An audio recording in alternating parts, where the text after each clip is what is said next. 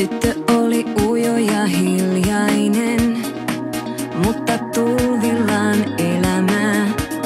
Sydämessä kipinä ikuinen, jota silmillä ei vain näe. Hän tiesi mitä tahtoisi ja unelmoida uskalsi.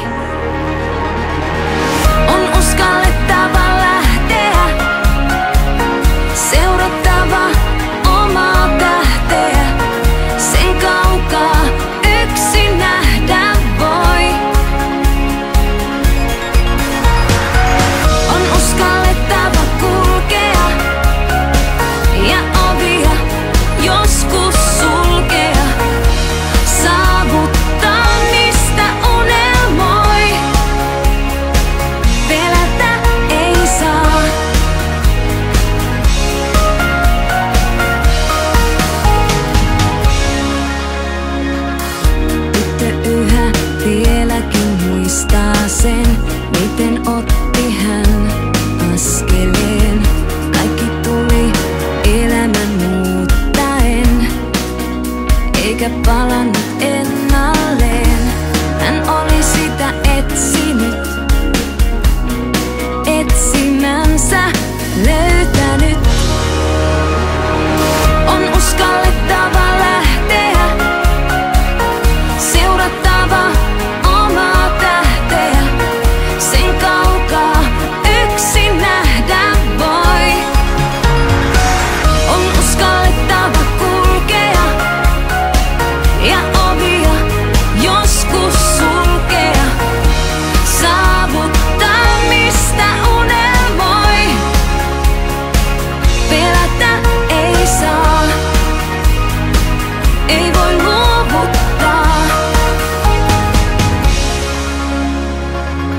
Sitä tyttö ei voi unohtaa, kuinka tärkeää on, että jossain joku odottaa.